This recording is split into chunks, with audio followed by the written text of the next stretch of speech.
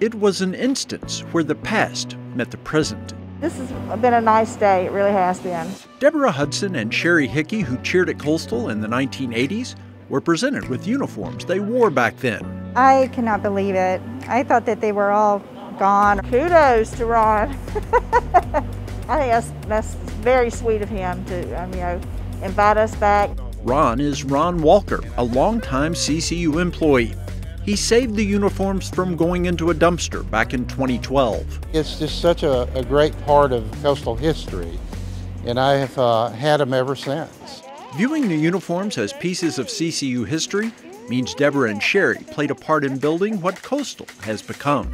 Folks like them play a huge part in, uh, in that foundation. There are obvious differences between then and now. When we were cheering it, you know, we had it was red and white.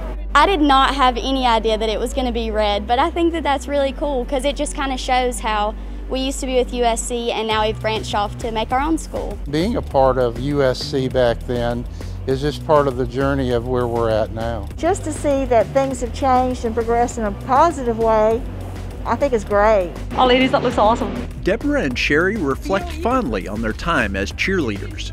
There would be tears you know, when we would lose a special game and happiness when we would win. It was so much fun. I just enjoyed the group so much, and I'm a little shy, so it was really good to meet other people. Several current cheerleaders were present, and the team even received a piece of memorabilia.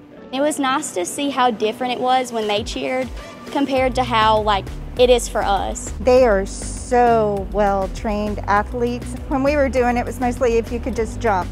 The past and the present, all a part of Teal Nation. We tend to think about our future with CCU, but I think the past plays a huge part in getting to the future.